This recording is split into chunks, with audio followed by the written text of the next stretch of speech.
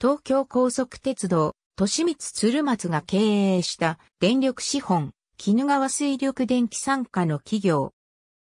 1919年に都内の複数の地下鉄路線の免許を申請、1920年3月17日に新宿大塚間の免許が交付されたものの、これを新宿から郊外方向へ延長する形で、同じ絹川水力電気参加の小田原急行鉄道が設立される。1934年設立後、1938年から1941年まで、現在の東京地下鉄銀座線の新橋駅、渋谷駅間を建設、運営していた東京横浜電鉄系の企業。東京高速鉄道の車掌東京高速鉄道100、軽電車東京高速鉄道株式会社は、現在の東京地下鉄銀座線の新橋駅、渋谷駅間を建設、運営した鉄道事業者である。もともと東京市7月1日、東京府と合同して東京都になるは、市内交通の公営主義に基づき地下鉄をも市営として建設する計画を持っており、1925年に内務省国時代56号で位置づけられた地下鉄5路線のうち4路線の免許を得ていたが、予算の問題から実現が遅れていた。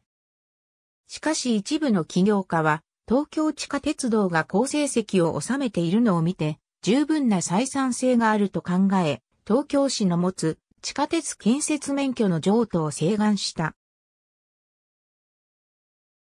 それを東京市が認めたため、1934年9月5日、建設運営を行う会社として、東京高速鉄道が設立された。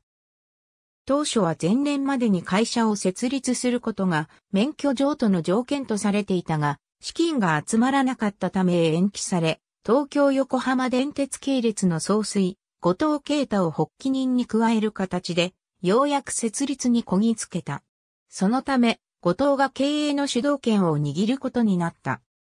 譲渡された免許区間は内務省国時代56号のうち3号線の渋谷東京間と4号線の新宿築地間であったが、東京高速鉄道は東京横浜電鉄のターミナルがある渋谷からの建設を開始し、1938年11月18日、青山六丁目駅虎ノ門駅間を開通させた。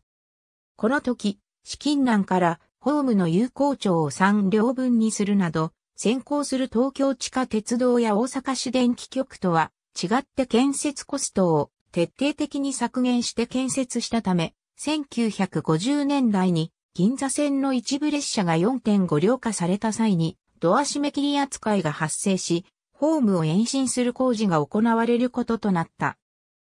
また新宿四谷見附築時間の路線に関しては、後期の短縮を理由として、四谷見附赤坂見附間に連絡線を設け、新宿四谷見附赤坂見附間を敷設して、当面は渋谷線への直通を行う形に計画を変更したため、赤坂見附駅は当初より新宿方面への分岐を考慮した上下二層構造とされた。車両のルーチは青山六丁目駅の渋谷寄りに、高校付近より、高架線にかけていった。同年の12月20日には、渋谷線の渋谷駅青山六丁目駅間が開業する。この時、青山から渋谷方面へ地形に沿って地下で進むと急勾配が発生し、当時の電車の性能では途半が不可能と判断されたこと、それにごとを率いる東京横浜電鉄との接続を重視したため、当該区間は高架で建設され、東横百貨店の3階に乗り入れる形で、東京高速鉄道の渋谷駅は設けられた。東京高速鉄道渋谷線は、虎ノ門駅から先は、当面の間新橋駅まで延伸し、東京地下鉄道線と直通運転することを目論んでいた。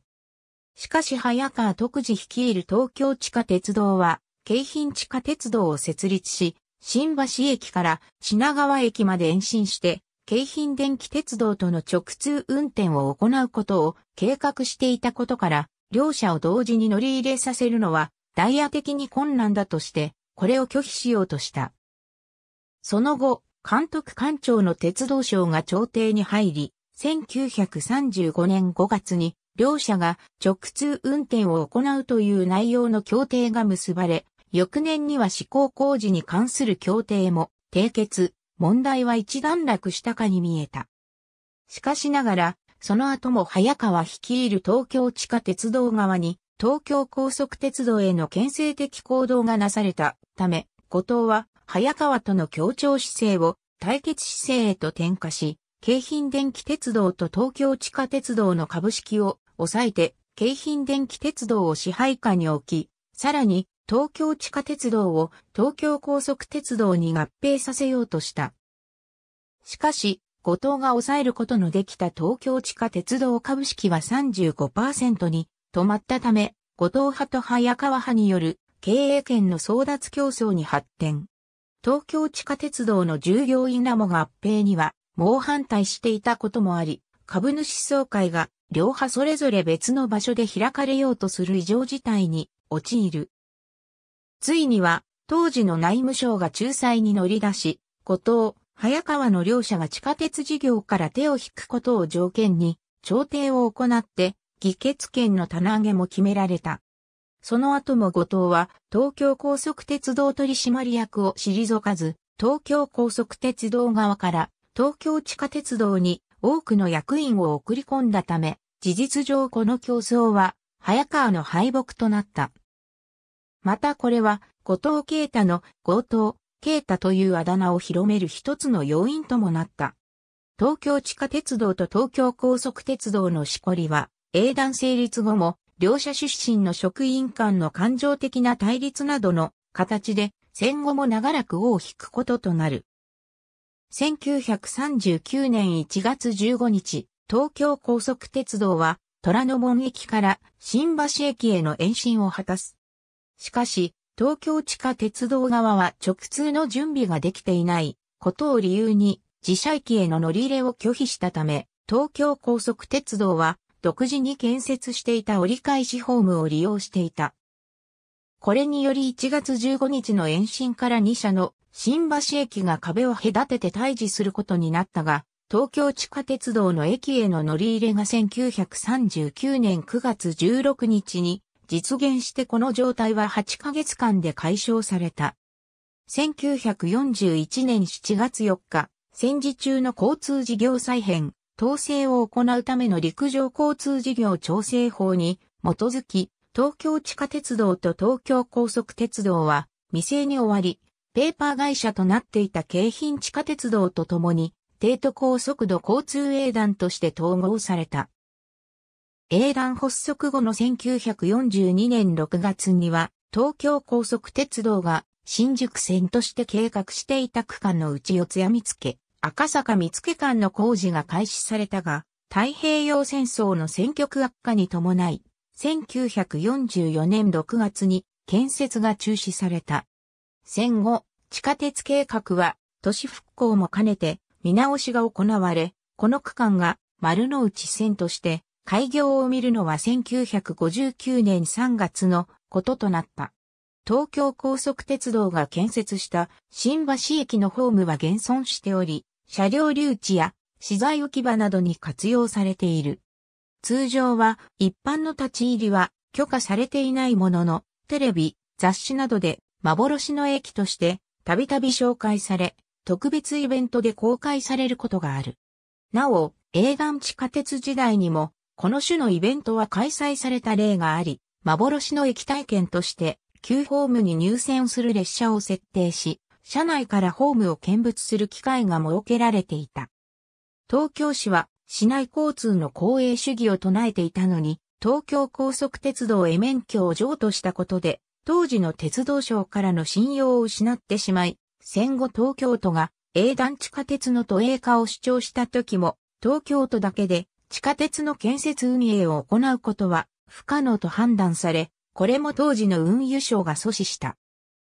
以後、東京における地下鉄整備は営団地下鉄と都営地下鉄が分担して行うことが方針として定められた。2004年4月1日に営団地下鉄が再編によって東京地下鉄となった現在でも原則としてそれは引き継がれている。東京の地下鉄運営団体が2つ存在するのは、このような経緯によるものである。1925年5月16日東京市に、大使地下鉄道不設免許状下付、鉄道免許状下付、官報1925年5月18日、地方鉄道及び軌道一覧、府、専用鉄道。昭和10年4月1日現在、鉄道不設権状と許可、官報1932年10月5日、鉄道統計資料。昭和9年度、鉄道統計資料。昭和7年度、地方鉄道運輸開始。官報1938年12月6日地下鉄、運輸50年史、P221 地下鉄、運輸50年史、P221、地方鉄道運輸開始。官報1939年1月13日、地方鉄道運輸開始。官報1939年2月2日先日の通り、東京高速鉄道は渋谷線に続いて赤坂見附新宿間の新宿線敷設を予定していたが、そのすべてを東京地下鉄道に乗り入れさせることは不可能であるため、渋谷線、新宿線の列車の一部を新橋駅にて折り返させる計画を立てており、その前提に基づいてこの東端式ホームを建設していたに基づく戦後、東京高速鉄道が計画していた赤坂見附四谷見附新宿間の路線は営団丸の内線として実現したが、営団銀座線となった赤坂見附新橋間へは乗り入れせず、独自に赤坂見附から霞が関を経て東京駅へ向かうルートを取ったため、東京高速鉄道が建設した新橋駅が旅客用に使用されることは戦後を通じてなかった。全国乗り合自動車騒乱。ありがとうございます。